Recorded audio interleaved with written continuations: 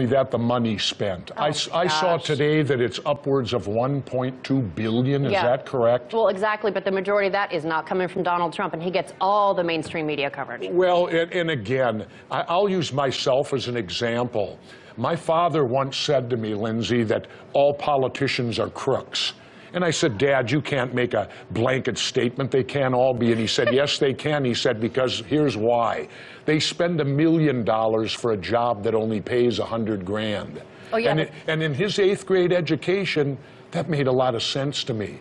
And when I ran for governor of Minnesota, I only raised $300,000. I actually made more money doing the job than what I spent to get it. And not only that, it's nothing like, uh, you know, serving one term and then getting lifelong pensions and, of course, that handy government health insurance. Oh, now, as we as we get started on our special coverage tonight, we are playing hardball. We are showing you perspective the mainstream media will not. We've got correspondents across the country and the world covering this crucial election. We're live at all four major candidate watch parties from New York to New Mexico. We're also in key swing states and getting world reaction from across Europe. Let's start with a key state everyone will be watching tonight. Manuel Rapalo is live in Columbus.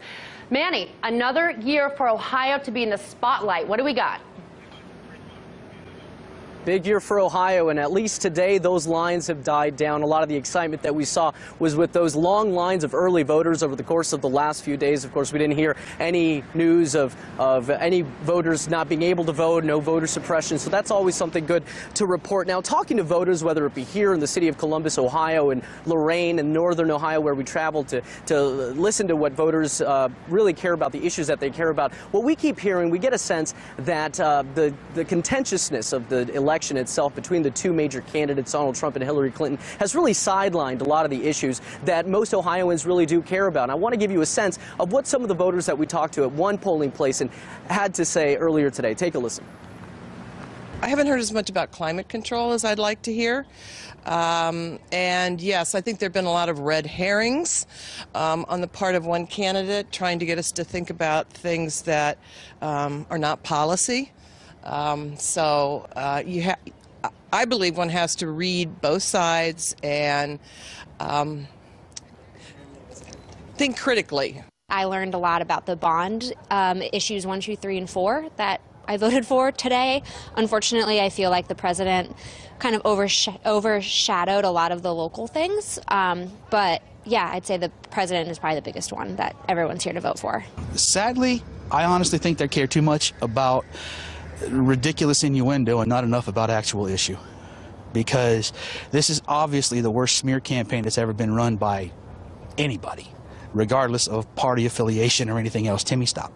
So I think that's what a lot of people are focusing on, and I think that's actually kind of sad. Now, the most common thing that we're hearing from voters here in Ohio is jobs, and that makes a lot of sense given that Ohio is in the Rust Belt. This state has seen a loss and decline in a lot of different industry, whether it be automotive, whether it be uh, steel and aluminum and manufacturing jobs, and that's something that was brought up by Ohio over the weekend on Sunday. She talked about the need to bring back those manufacturing jobs, the need to invest in infrastructure, and the need to invest in, uh, in renewable energy and jobs that are really appealing uh, for export around the world. And this is something that really does resonate with voters here in Ohio. Of course, the polls here in Columbus, in Ohio, they close at 7:30 this evening Eastern Time, and we'll be keeping a very close watch on those numbers so that we can bring you the very latest from the ground here in Columbus, Ohio. Back to you in studio. Thanks. Was Manuel Rapalo reporting from Columbus, Ohio. Now to Marina Portnaya in Miami, where it could be another long night counting votes in this must-win state. Decision day is here, and in the battleground state of Florida, officials are expecting record voter turnout. Now, all eyes are on the Sunshine State because it is a must win for Donald Trump in order for the Republican nominee to secure a path to the White House. But Hillary Clinton does know that every vote in this state matters, and she's been pouring uh, a lot of money and effort into Florida to register people and make sure that people turn out to vote. Back in 2012, President Barack Obama won Florida by a, a mere 74,000 votes. Under 1% of victory margin. So right now, everybody knows that this swing state, which is a microcosm essentially of America, is an important factor in who uh, wins this presidential election. You have 38% of voters in Florida that are registered Democrats, 36 that are registered Republicans, and the rest are either independent or affiliated with another party or no party at all. And those are the votes to be looking out for and to be watching because during the primaries, independents and third party voters were not allowed to cast a ballot. Now, prior to Election Day, a record 6.4 million Floridians uh, cast ballots during early voting, and uh, nearly 1 million of those uh, voters are Puerto Ricans. That is what has been called uh, Hillary Clinton's secret weapon. The amount of uh, Puerto Rican registered voters in Florida that have been going to the polls and supporting her. We visited two Miami polling sites and spoke to voters asking them who they are supporting on this election day. It's the character of the Republican candidate that is running for president that I absolutely, I, all politics aside, which a lot of his stances I do not agree with, uh, it's the human being that appalls me. I voted today for Hillary Clinton. Why? Because I remember her husband being in presidency, and something that stood out to me being someone much younger back then, the way they embraced minorities. I voted for Hillary.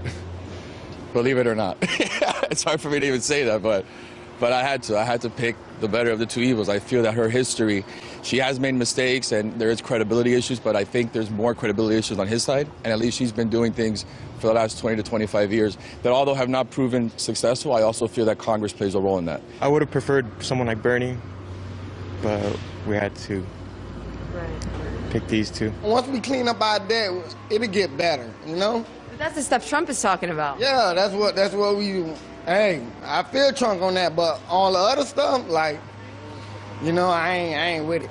Now, we should mention just because we ran into only Clinton supporters doesn't guarantee that she will take the state. The candidates are essentially neck and neck in Florida, with Clinton leading by just one point. During the Florida primary, Donald Trump won 65 out of 66 counties. When the Republican presidential nominee comes to the Sunshine State, tens of thousands of people line up to hear him speak. So, no matter which way you slice it, how Florida votes in this election on this day will be a major determinant in who wins the White House. Reporting from Miami, Marina Portnaya, RT.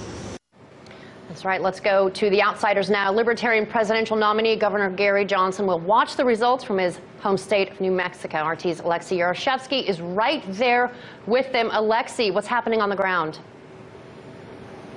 Well, we witnessed uh, voting uh, early in the morning here in Albuquerque, New Mexico. I can't say there were uh, long lines into the polling stations, but the flow of voters never ceased, and it seems that people are genuinely excited about this very important choice. Uh, and in fact, in terms of New Mexico, it could be a very interesting race this time. It's been a traditionally blue state. In fact, in, in the last six presidential elections, five of them were comfortably won by the Democrats. Uh, Barack Obama won here by 10 percent uh, just four years ago, and eight years ago he won by 15 percent. This time, however, the latest polls released on Monday by nonpartisan organizations suggest that the, uh, the race is very tight, that Hillary Clinton is only in the lead by 1 to 2 percent. Uh, it is interesting to see uh, whether the crossover vote, meaning Democrats voting for Donald Trump, which is a phenomenon here in New Mexico, could swing the state into his favor. It provides only five electoral votes, but there's no such thing as only five electoral votes in this campaign, it seems. And uh, it's also a stomping ground for Gary Johnson. He used to be the governor of New Mexico, received a lot of praise for his work uh, here, uh, but uh, so far his polls, his polls are not doing too good. In fact, there are concerns that he could make it over the 10% barrier in the state of New Mexico. Who is Gary Johnson? Take a look at my report. Who the hell is Gary Johnson? The question not many in America have an answer to, but nonetheless between 4 and 7 percent of voters see the former New Mexico governor as the man to lead the country. Self-made millionaire starting off a construction company to owning the Nevada-based marijuana firm, and yes, he is a long-term proponent of pot legalization. Previously a Republican, now a staunch libertarian, Gary Johnson is making a second attempt at the country's top job. In 2012, he garnered 1.2 million votes, the highest number by any third-party candidate in 40 years. His policies have not changed in four years, revolving around civil liberties and the cornerstone of his domestic platform, debt elimination and low taxes. Something he had a tremendous success with while governing New Mexico. Look, it takes Congress to go along with uh, cutting spending, and I do believe that we should balance the federal budget. I think the consequences of a $20 trillion debt, and that will be the debt that we will have when Obama leaves office, uh, is going to be irreparable. Johnson has also been an avid fighter against what he calls unjust election system. We have sued the Presidential Debate Commission. Um, the contention is, is that if you're on the ballot in enough states to mathematically be elected president, that you should be included uh, in the general election debates. Gary Johnson's campaign also had its dark moments. What would you do if you were elected about Aleppo? About Aleppo. And what is Aleppo? However, despite that setback, Gary Johnson has always had a very clear view on how to combat terrorism. We need to cut off funding uh, to these groups which ultimately make this possible. And we can do that. We can do this, this with our brains. This is, a, this is a cyber war. I think our military interventions are making things worse, not better. Gary Johnson's domestic and foreign policies may seem vague to some, but there's no denying the one aspect where the libertarian candidate is well ahead of his rivals is his sense of humor. I think I could stand up there for the whole debate and not say anything. You have a, a one in five, a higher chance of having a heart attack within the first hour after you smoke marijuana. There are legitimate side effects of this drug. The THC, when in the in the 60s, you know, it's. I think the governor has, has had great fun with his humor, but this isn't a funny. Well, Governor Gary Johnson, as you can see, is a man of humor. He also known to have climbed the Mount Everest. Climbing the mountain of the two-party system has been a, a, harder task so far, but we'll see whether tonight here in Albuquerque he'll have a reason to celebrate and whether New Mexico would become a swing state or a toss-up. Alexei Yaroshevsky uh, live in New Mexico for us. Let's go live now to Governor Gary Johnson, Libertarian candidate for president, joining us now. Hi, Gary. Governor Jesse Ventura here. How you doing? You must be exhausted. I, I've been through a few of these races where you're out talking 24-7. How do you feel to finally know that today it'll end one way or the other? Well, uh, it's great to be on the way down from the top of the mountain. And top of the mountain, hey, we did uh, finish this race. And I'm believing, Jesse, that, uh, and you've, you've done the same in your career, is giving people uh, a third choice here, in this case, uh, one they could be proud of, you know, the whole honesty, integrity. You gotta, you gotta live with yourself two days after this election, two months after this election, two years after this election. Now, Gary, you know, how, you know, when Trump talks about a rigged election, he's correct. The election is rigged, but it's not rigged in the manner that he means. It's rigged to stop anyone like you or a Jill Stein from being able to play on a level playing field and actually compete to win. Because I remember in Minnesota, I, I couldn't have debated. I was polling 9% at Labor Day, but I was allowed in the debates. And 60 days later, I was the governor of Minnesota, proving that it could be done. But you've got to get into the debates. What are we going to do to get a third or fourth choice on those debates? You know, Jesse, first of all, you hit it uh, right on the head. You can't, um, look, if you're not in the Super Bowl of politics, in this case, the general election debates, how do you compete? And there needs to be a cutoff because there's a thousand people that register with the Federal Elections Commission to run for president. How about the cutoff that if you're on the ballot in all 50 states, uh, that you should be in the general election debates? I hope if nothing else comes of this uh, election, that people recognize that the presidential debate commission wears no clothes. Uh, this is not fair. When 50% uh, of Americans right now, when they go to register to vote, are saying that they are independent, where is that representation? There needs to be a cutoff, but uh, cutoff on the ballot in all 50 states, I think that's a logical place to start and it's a chicken and egg thing. Ross Perot was polling lower than I was at the time of the first debate this cycle. Uh, and uh, he was allowed in the debates because both Bush and Clinton saw it to their advantage for him to be in the debates. Yeah, and what did, as a result of the debates, Ross Perot got 20% of the vote, one out of five. And they were, they were sure, I'm glad the governor brought that up because that what happened then was in 96, it's terrified them so badly that Perot got one out of five votes that he was cut out in 96. He wasn't allowed to debate. Now, how do you cut out someone who got one out of five votes the very previous election? Well, the two parties in your state thought it was going to go to their advantage to bring you in, and it completely backfired. I mean, what was that exactly. like? And the thing is, is that Perot, Perot, what happened was Clinton and Dole, prior to that, it was the National League of Women Voters that Exactly. ran the federal debates. Well, they took it away then and formed the Federal Debate Commission, which the heads of it were both Democrats and Republicans. So essentially, they allow these two parties to determine who is going to be in the debates. And of course, the two parties aren't going to let a third entity in there. They might get beat. Well, and not only that, it was the, I believe it was the uh, 88 election when that started, and it really changed. Gary, I want to ask you about ranked voting. Maine is voting on uh,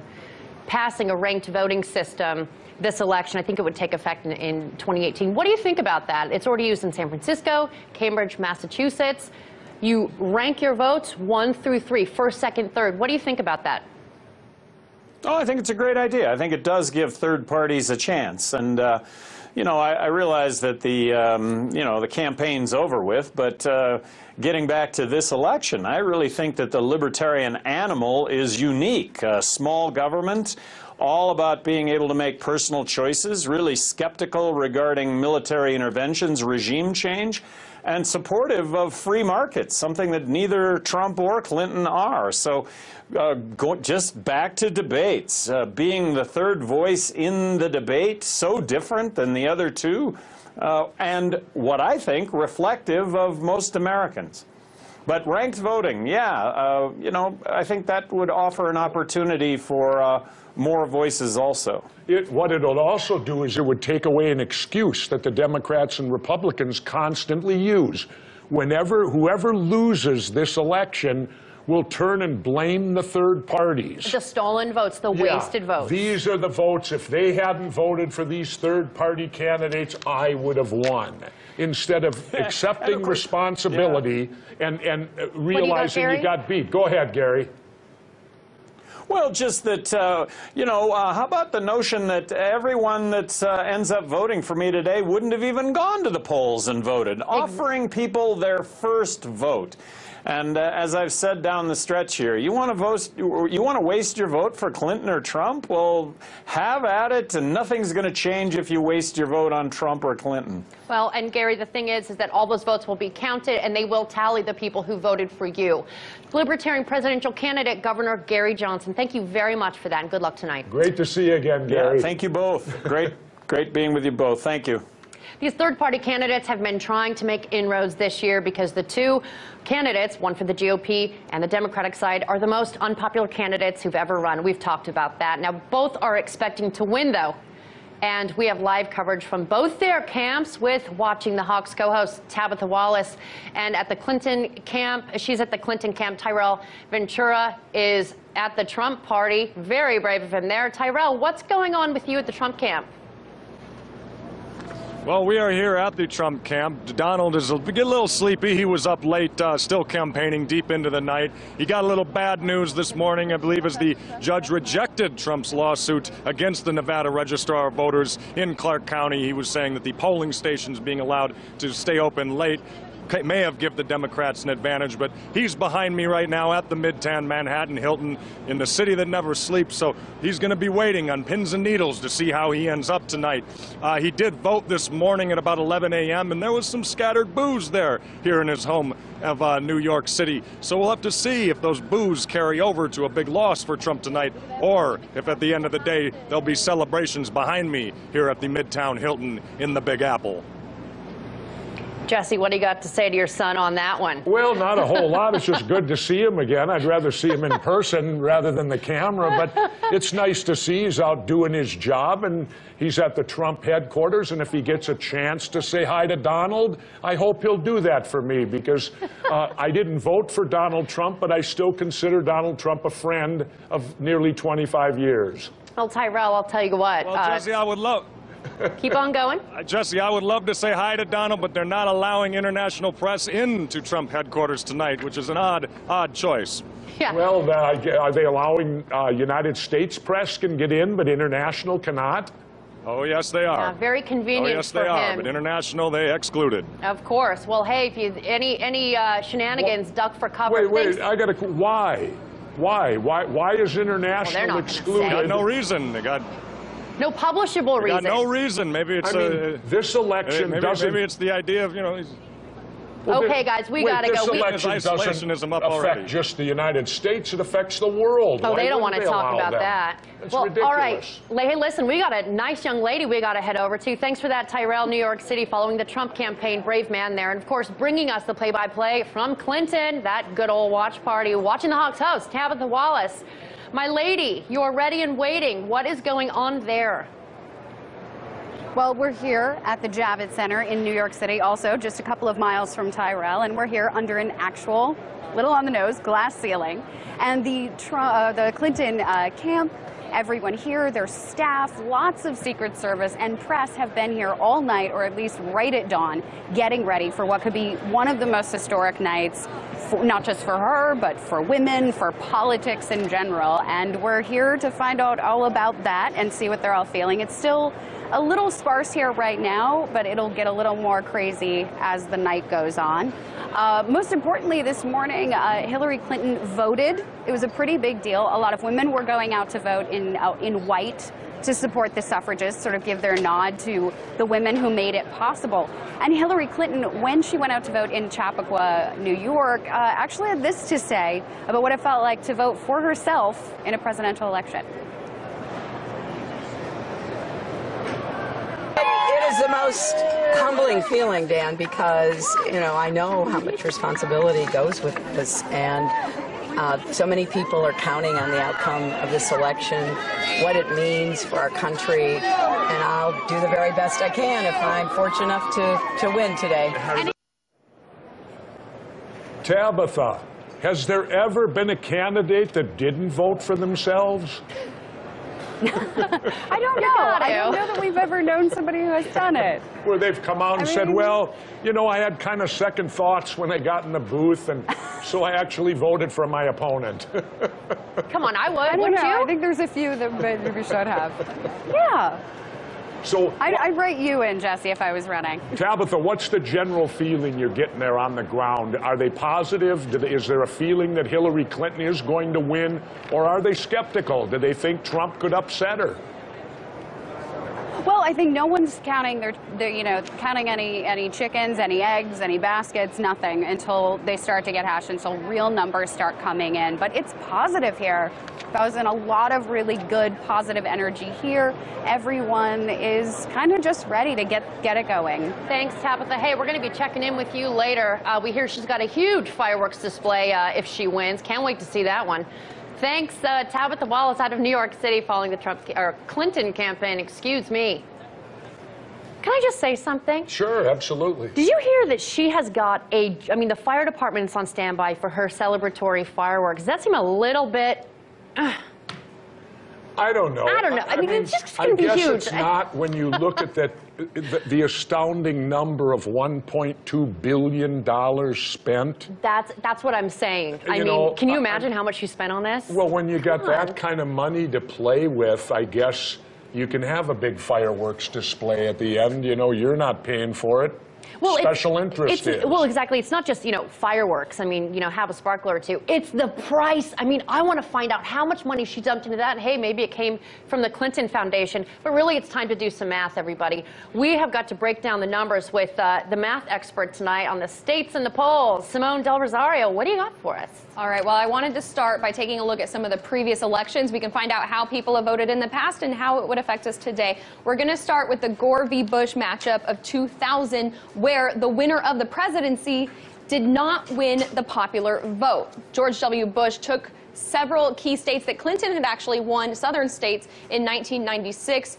And then he beat Gore, of course, by winning the all important states of Ohio and Florida. That put him at 271, just eking out a victory. Remember, you have to reach 270 to win. Now, even though Gore did lose the presidency, you can see he actually received about half a million more votes than Bush. This was only the fourth time in American history that that had happened. So let's break down who voted for whom. Now, Bush lost the woman vote, expected, but he won the male vote by 54%. Gore won minority vote by significant margins, but Bush dominated the white vote here. He won 55% of white voters to Gore's 42. It's a huge margin considering that 81% of those who went to the polls in the year 2000, they were white. Now, age not a factor this year. The candidates basically split every single age group there. And then in 2004, Bush won his reelection campaign against our current Secretary of State, John Kerry, which is going to bring us now to 2008, the matchup between current U.S. President Barack Obama and Arizona Senator John McCain. There were some huge changes to our map in 2008. States that were once considered Republican strongholds, like Virginia, like North Carolina, like Indiana, those flipped blue, went for Obama. He also took back crucial battleground states, Iowa, Florida, Ohio, and then he got some more in the West. He took on Nevada, Colorado, and New Mexico here. The result, of course, he dominated the Electoral College 365 to 173. He also beat McCain in the popular vote by nearly 10 million votes, and this is how he did it. Obama continued the Democratic tradition of winning women, but then he did the unthinkable. He actually won the male vote over there by one point, something that had not been done in more than 50 years. McCain still won white voters of 55 to 43, but this time around, whites just made up 74% of voters compared with 81% eight years ago. See a trend here, more minorities going out to vote. Obama, of course, dominating the minority vote, particularly African Americans, 95% of the vote there. But here's where he did most of his damage. He mobilized the youth vote. They turned out in huge numbers for him. He took two thirds of the 18 to 29 year olds. In 2012, Obama ran for re-election against former governor of Massachusetts Mitt Romney. He held on to nearly every state he won in 2008, only losing North Carolina and Indiana to Romney. That brings us to today. And this is what our projected electoral map looks like. Remember, the magic number here is 270. We've identified 16 states in the District of Columbia that will almost certainly vote for Hillary Clinton. Those are the ones here in blue. That's worth 201 electoral votes over there. We think that there are 21 reliably Republican states in red that will most certainly vote for Donald Trump. That'll take him to 164. So Trump already at a huge disadvantage here. This election is really going to come down to the 13 states here we see in gray. Based on current polling, we expect Clinton to pick up Colorado, Wisconsin, Michigan, Pennsylvania, and Virginia. That would get her to 269 electoral votes. That's just one shy of our magic number. So she would need to pick up any one of these remaining gray states to win the presidency. Even if Trump wins all of these gray states we still have left on our map, the best that they could do is tie over here at 269, the tiebreaker going to the House of Representatives. But if Trump manages to flip, say, Pennsylvania, turn that one blue, his way, the map gets interesting here. In this scenario, his path to the presidency includes not only taking Pennsylvania, but he's going to have to take Arizona over here. He'll also have to get Ohio, North Carolina, and Florida and Georgia, where a southern state may not go his way. That would give him 273 electoral votes. That's one path to presidency here. Uh, Lindsay and Jesse, the key battleground states we're going to be looking at tonight are in Pennsylvania, Ohio, Florida. That's because those are worth a whopping two or 67 electoral votes. Clinton definitely has the easier path to the presidency here tonight. Trump's chances are hinged on the polling that we have being very wrong, which is possible, or the minority turnout being lower than expected, because as you guys saw, that would help a Clinton victory. Gosh, you know, um, the weirder things have happened, and thank you very much for going over the history and the trends there. It's, it's definitely good to know that stuff, and it's stuff a lot of us forget. Thanks, Simone Del Rosario, with the numbers tonight. And of course, keeping with third parties this evening, Green Party nominee Jill Stein will be watching the results on the Lower East Side of New York City because that's her style. The aim for the Greens is to get to that all important 5% of the national vote to keep their momentum going into the future. RT correspondent Trinity Chavez is with the Stein campaign. Trinity, what's happening? So we're here at Aventina, uh, Aventina Restaurant here on the Lower East Side in New York City, where we are anticipating the celebration of Jill Stein's campaign party that will be taking place uh, in, during this long-awaited election. Uh, people from all over the country are finally going to cast their vote to decide who they want to be the next president of the United States. Now, although the two major party candidates only want you to believe that there are only two choices in this presidential election, that is simply not the case.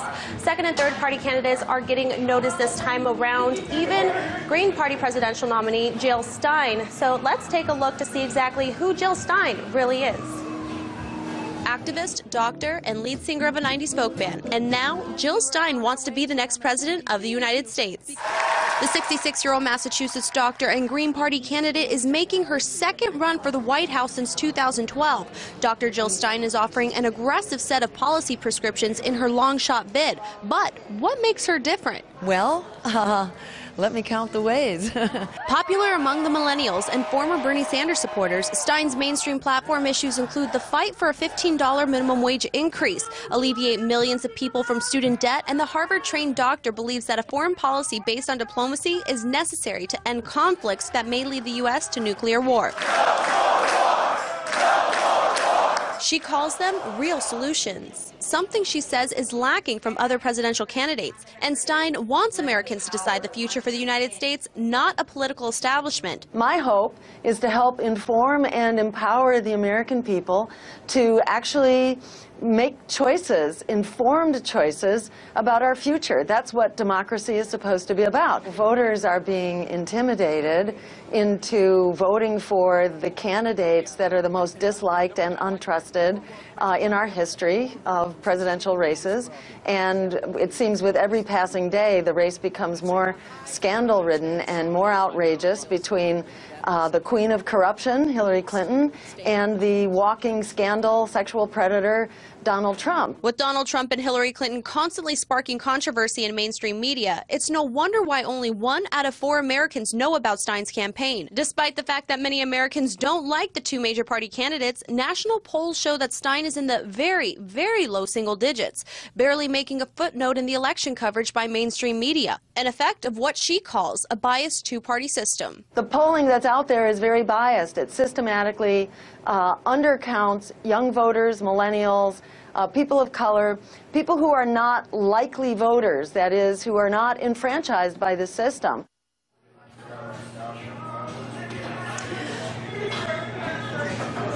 Yes, so Jill Stein is doing whatever it takes to get her voice heard. Now, all those Stein supporters, you know, have come to terms with the fact that she may not be president this time around. Stein's goal is to try to obtain 5% of the national vote, which would get her millions of dollars in federal funding to run for president in 2020.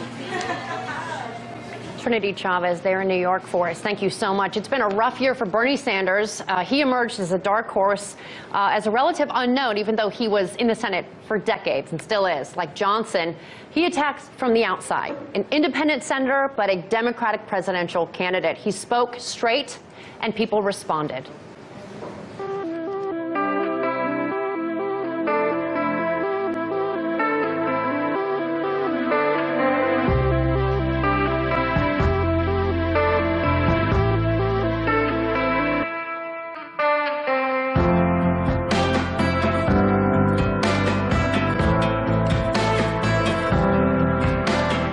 What this campaign is about.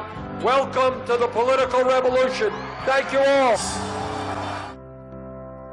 The greed, recklessness, and illegal behavior on Wall Street nearly destroyed the American and global economy. The only way to contain the street's excess is with reforms so big, bold, and public they can't be watered down.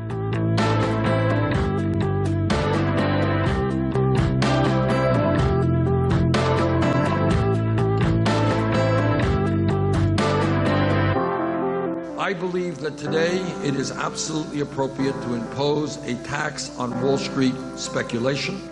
We also have to keep our eye on Wall Street. We can't ever let it wreck Main Street again. I am endorsing Hillary Clinton.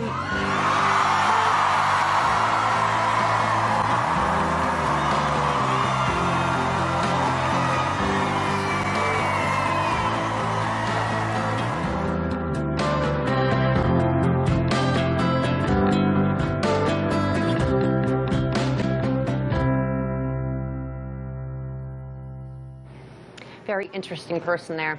Let's go to two more guys operating from the outside and looking for victories. Let's go to Green Party Vice Presidential candidate Ajamu Baraka and Arvin Vohra, Vice Chairman of the Libertarian National uh, Committee. Uh, Ajamu, I want to start with you. Over the last few days, it's been a frenzy. What's it been like on the inside of the campaign, fighting the huge amount of mainstream coverage of the large parties, but still fighting for that 5% of the national vote? Well, it's been uh, it's been a good uh, good experience. We um, we are fighting, as you say, for every vote. Uh, we are here to to win, uh, and we are getting the kind of energy that uh, we we need from our supporters. Uh, they're telling us go forward, and that's what we've done for the last few months to to represent them, represent their interests, represent their hopes for for the future. So, it's been tough. But you know, uh, we know that we are in fact the, the wave of the future. So it's been it's been good also. Jesse, I know you wanted to weigh in on. Well, some of you know, for, for me, again, it's the battle that's going to take place always. It's the same thing. How do we get a third or fourth voice in the election, and what has to be required to do so? Yeah. I mean, that's what it all comes down to because, as I stated before, I was polling 9% at Labor Day. I was allowed in the debates, and I proved you could win. In 60 days, you could go from single digit and win the election. Well, these two parties are not, they learned from that. They're not going to let that happen again. They're not going to let anyone debate. And I'm outraged over the fact, and I'll call them the lemmings of America, who sit back and accept this when polls state that 40% of the people, quote, are independents.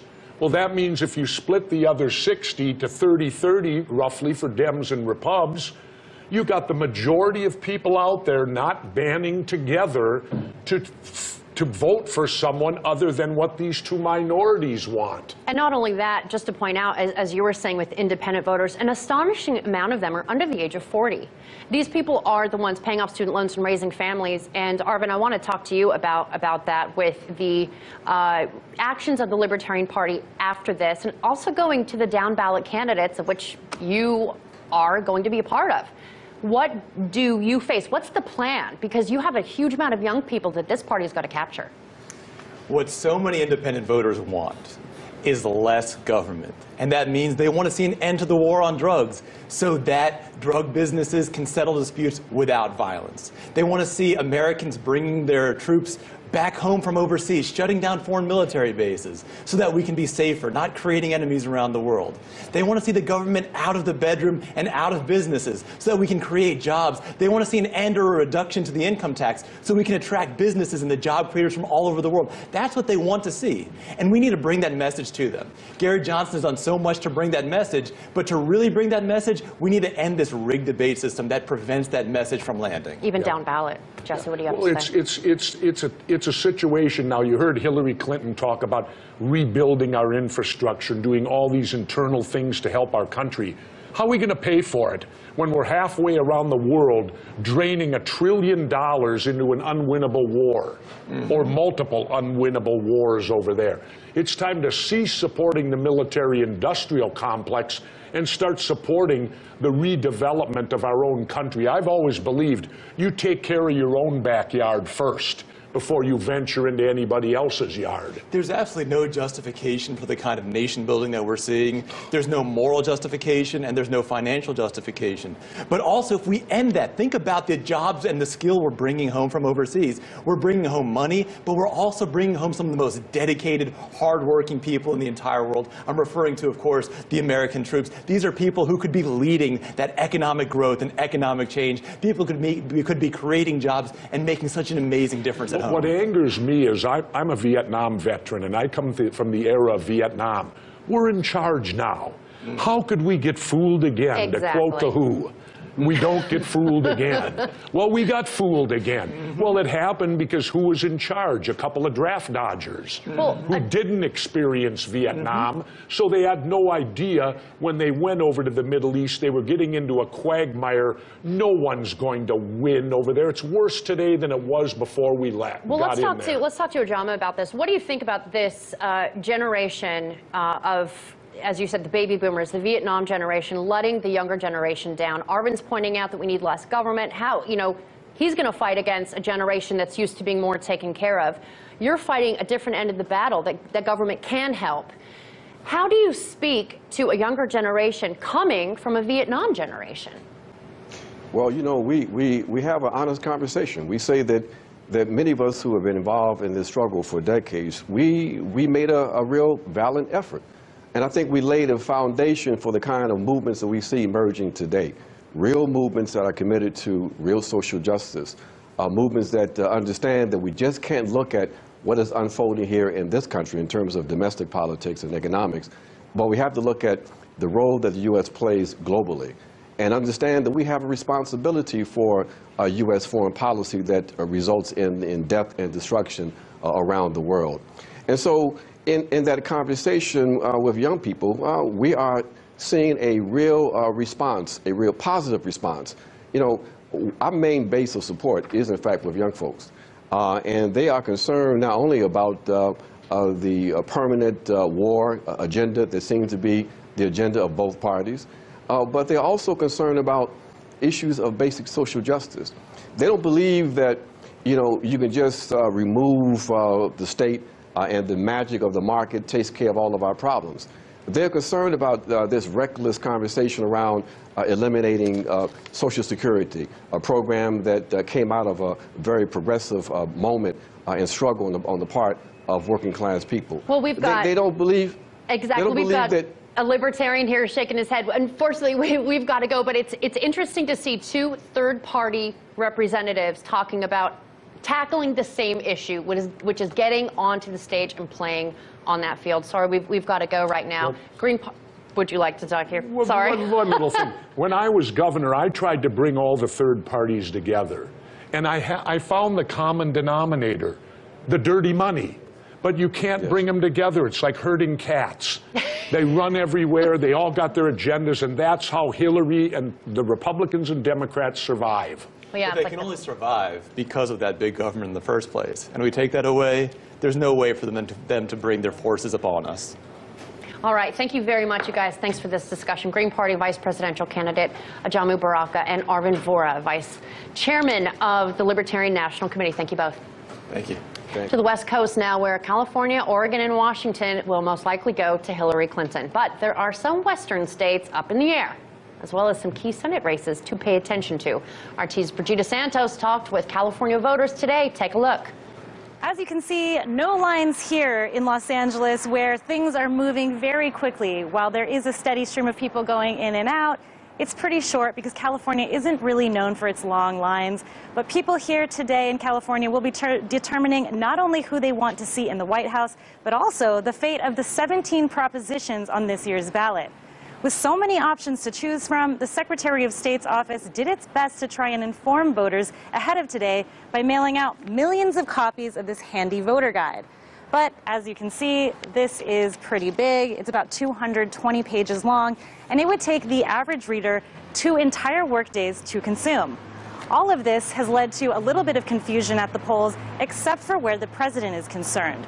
Most people in California are voting for Hillary Clinton, which is unsurprising as the state has been voting blue since 1988. Voting for Hillary Clinton because she just represents everything that I want this country to to experience. I think our government is so corrupt. And he's not a politician. He talks from the bottom of his heart. And uh, that's why I voted for Trump. Has an issue either way with either of the candidates. One, because Hillary is, I mean, like, Donald Trump is very extreme. Um, I don't like a lot of his policies. I don't like a lot of Hillary's policies. I don't like the way that she presents herself. I don't like the way that he presents himself either. They both have a terrible past. One of them is in politics, and one of them is just entertainment, who he is as a person. Um, I feel like she's more dangerous in a way. Today, Californians will also be deciding who they want to replace retiring U.S. Senator Barbara Boxer. Right now, State Attorney General Kamala Harris is in the lead over U.S. Representative Loretta Sanchez. Both women are Democrats, making this the first year in state history for a Republican to be left off the Senate race in a general election. And that has to do with new state primary rules that had advanced the top two candidates to the general election, regardless of party. Parties aside, all of these voters seem to agree on one thing. They can't wait for this election to be over. Reporting from Los Angeles, Brigida Santos, RT. Isn't that the truth? Coming up after this break, we've got to look back at the history of third parties. Stay with us.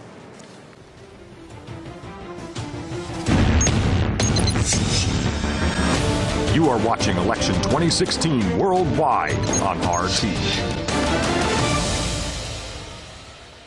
People have got to know whether or not their president's a crook. American people deserve to know what answers. difference at this point does it make? We must guard against the military-industrial complex. Cold War is over. We shall never negotiate. An American airplane dropped one bomb on Hiroshima. To know war is to know that there is still madness. Yet we do what we must. The only thing we have to fear is I am officially running. The future doesn't belong to the faint-hearted.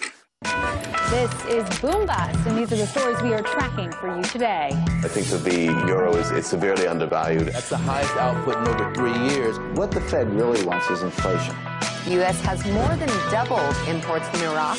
All that debt that was accumulated, they have to pay it off. And when you see oil go down, our economy goes down.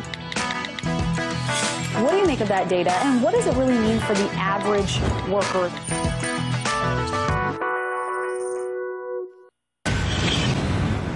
For decades, the American middle class has been railroaded by Washington politics. Big money corporate interest has drowned out a lot of voices. That's how it is in the news culture in this country now. That's where I come in. I'm Ed Schultz. I do the news on RT America. I'll make sure you don't get railroaded and you'll get the straight talk and the straight news.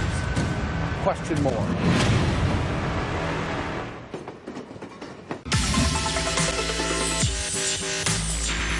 Hi, my name is Manuel Rapalo. RT, it's just smarter.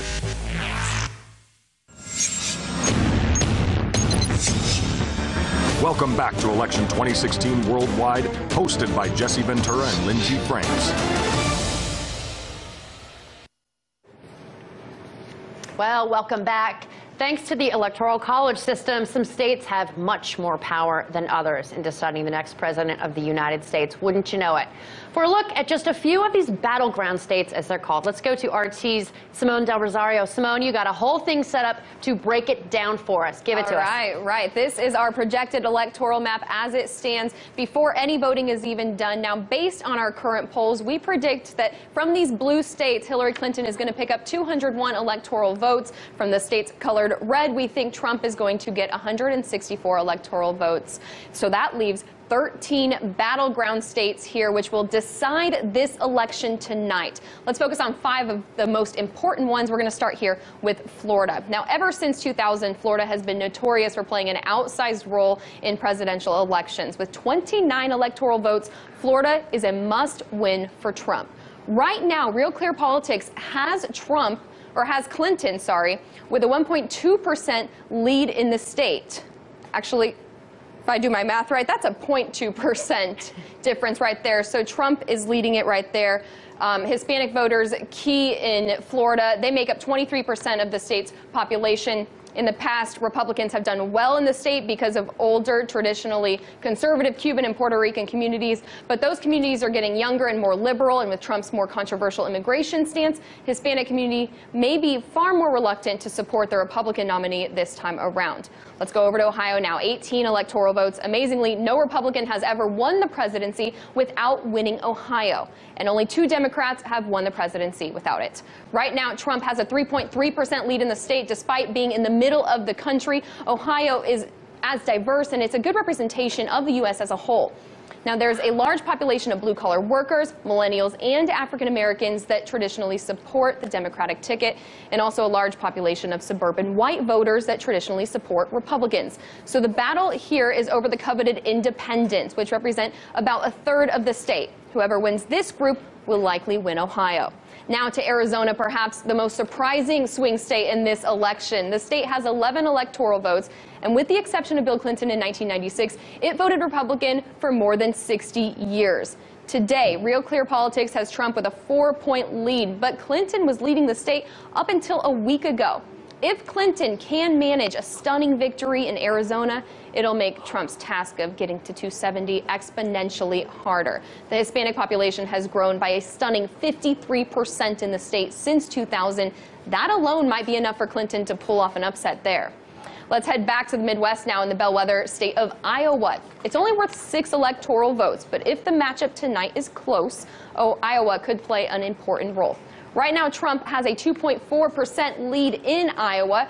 For most of the 70s and 80s, Iowa was a Republican state, but since 1988, the Democratic candidate has won Iowa all but one time, albeit by close margins. It's a close race this year, and if Trump can win the state, our takeaway is that his rhetoric on jobs and trade is resonating with working class Midwest voters. Finally, North Carolina. 15 electoral votes up for grabs in this state. Like the rest of the South, North Carolina is traditionally red. Republicans won seven in a row up until 2008 when Obama flipped it blue.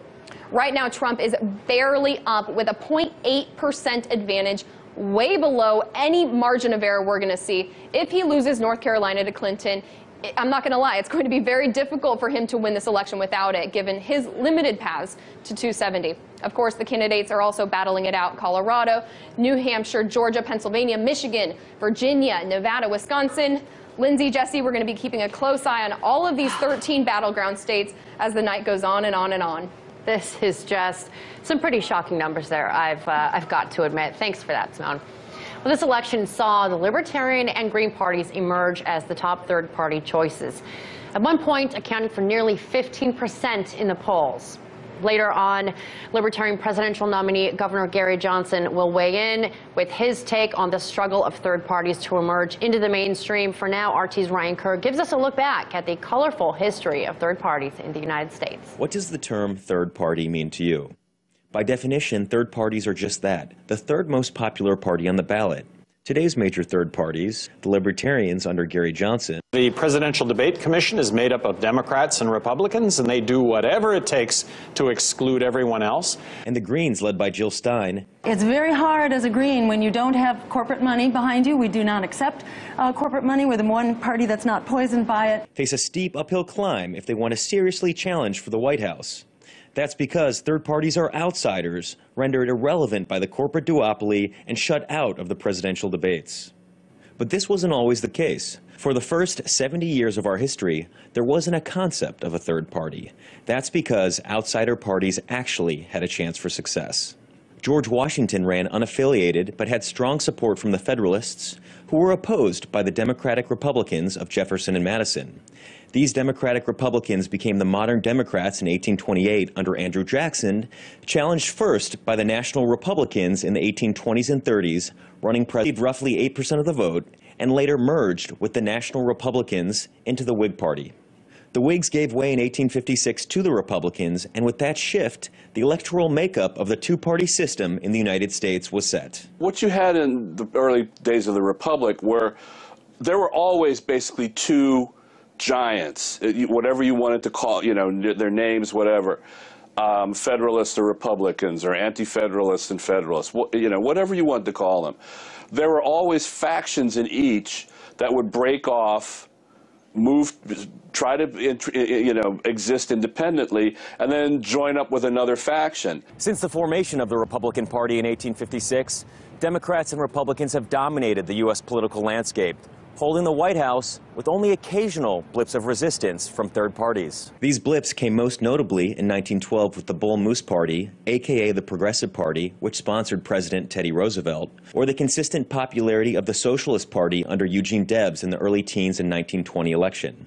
In the 1948 election, Strom Thurmond's States' Rights Party, known as the Dixiecrats, took 39 electoral votes. In the words of John Paul Jones, We have just begun to fight. George Wallace's American Independent Party was the last third party to take electoral votes in an election, collecting 46 in 1968. There have been many movements in our country of a new party nature in the last decade or so and uh, the last 50 years. But no new party movement has ever had the grassroots support that our movement has. Ross Perot's Reform Party run in 1992 and 1996 was the closest modern day third party challenge. I was not put on the ballot by either of the two parties. I was not put on the ballot by any PAC money, by any foreign lobbyist money, by any special interest money. This is a movement that came from the people. This is the way the framers of the Constitution intended our government to be a government that comes from the people. And many say that Ralph Nader spoiled Al Gore's chances in 2000. If we exceed expectations, then the impact of this movement is going to be even greater than we ever thought after Election Day. Our revolution continues. Today, the movement behind Bernie Sanders, consolidating young and disenfranchised voters, tired of what they call a broken system, points to a future where American political discontent may boil over with third parties emerging into the mainstream. Unless there is a, it was a there was a crisis, a constitutional crisis, just like the Civil War, something along those lines, I don't see a third party uh, coalescing, but then also uh, having the, the strength to really push the others aside or, or, or have this, you know, gather unto it all of these different uh, factions and groups. But they, it might be big enough to, to uh, you know, tip the balance and make history. Perhaps not in this election or even the next, but future historians may look back on this time as the beginning of the end of two-party dominance in U.S. politics.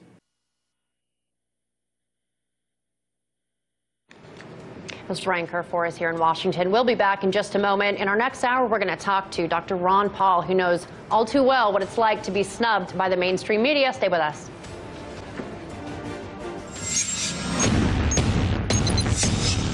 Who's going to be the 45th President of the United States? Stay tuned to Election 2016 Worldwide on RT.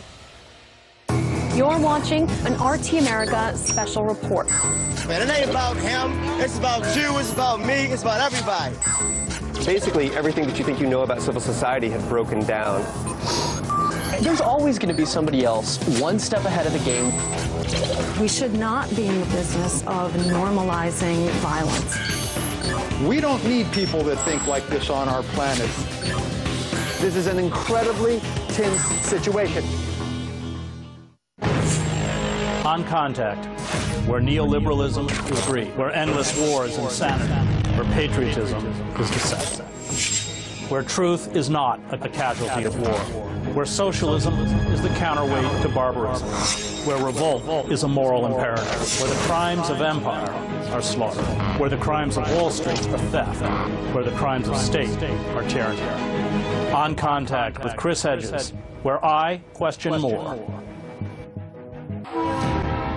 We do stand on the edge of a great new era. A great new era. What happened to the American century? What happened to America's ideal of progress? It is a time for pathfinders and pioneers. If you're an entrepreneur right now in America, the last thing you want to do is take risks. You'll see that whole streets are just closing down. It's beyond life. Americans are finding themselves in a desperate situation. Here we are, naked in front of the world. It's a real tragedy.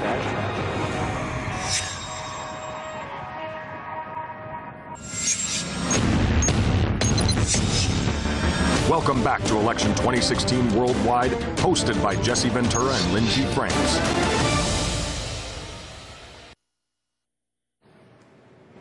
Welcome back to Election Night 2016 on RT America. I'm Lindsay France. We have got worldwide coverage coming at you from Berlin to New York, New York over to the West Coast. We are picking apart the outsiders. And I'm Governor Jesse Ventura. We're taking thir talking third parties, those fighting to get into the mainstream of politics being shut out all the time because it's a rigged two-party system, and when you control it, you control who's in and out of it. And you practically control a lot of the entire world in the process. Governor, it was a long shot for you when you ran for the top job in Minnesota. I want to talk about that. First, Manila Chan takes a look at how it all happened for you.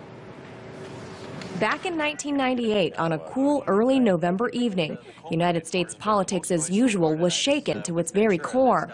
With a bright full moon shining down, the state of Minnesota shocked the world as they elected former Navy SEAL, professional wrestler, actor, and mayor Jesse Ventura to the office of governor.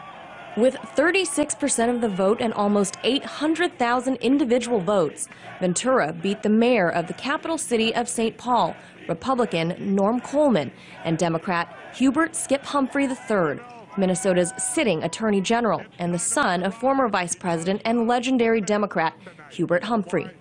Running under Ross Perot's Reform Party banner, Ventura's grassroots campaign was truly just that raising just $300,000 compared to the over $4 million spent by his two opponents. Ventura captivated Minnesotans on the campaign trail with his honesty, candor, passion, and showmanship. New from the Reform Party. Creative campaign ads featuring two kids playing with a Jesse Ventura action figure fighting evil special interest man and Ventura himself posing as Rodin's the Thinker entertained and educated Minnesota voters to his message of small government, cutting taxes, and putting the people over party politics.